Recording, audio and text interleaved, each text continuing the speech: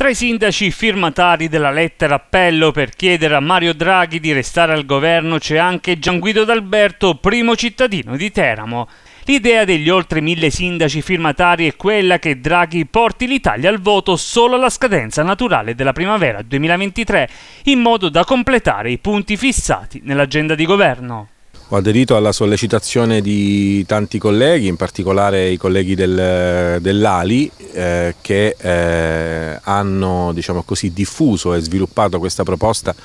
che è venuta insomma, dal sindaco di Milano, dal sindaco di, di Firenze, eh, in un momento molto particolare per il nostro, per il nostro paese. In, questo, in, questa fase storica io credo che tutte le forze politiche in questo momento di maggioranza e che con responsabilità stanno portando avanti eh, un governo che deve portare a compimento eh, l'attività, l'azione del PNRR che è fondamentale ovviamente per i nostri territori, fronteggiare la pandemia e gli effetti e le conseguenze del, della guerra devono assolutamente, pur mantenendo ciascuna la propria eh, diciamo così, identità, e rappresentando anche le cose che devono essere migliorate e che non vanno, quindi portando avanti le, la linea, però cercare assolutamente di trovare una sintesi. In questo momento destabilizzare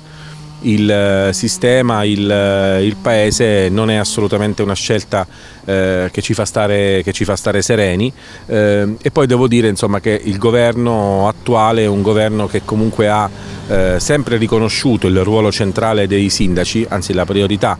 dei sindaci, dei comuni, sia per quanto riguarda la tenuta del sistema, lo abbiamo dimostrato, e anche per quanto riguarda la capacità di realizzare gli obiettivi del PNRR. Ecco perché questo patto istituzionale che si è costruito nel corso di questi ultimi, ultimi anni deve essere alimentato, ma oggi è il momento assolutamente di trovare una, una sintesi e una soluzione. La destabilizzazione è assolutamente preoccupante. Per il sindaco di Teramo la situazione economica attuale del paese non permette assolutamente dei rallentamenti sugli interventi che il governo sta mettendo in campo e tornare al voto ora significherebbe in questa fase perdere tempo che non abbiamo. In condizioni normali non ci sarebbe nulla di, di, di, di strano, di assurdo, Insomma, le maggioranze eh, finiscono, politicamente possono esserci delle modifiche, delle variazioni che possono determinare una non prosecuzione del governo, oggi non siamo in condizioni normali.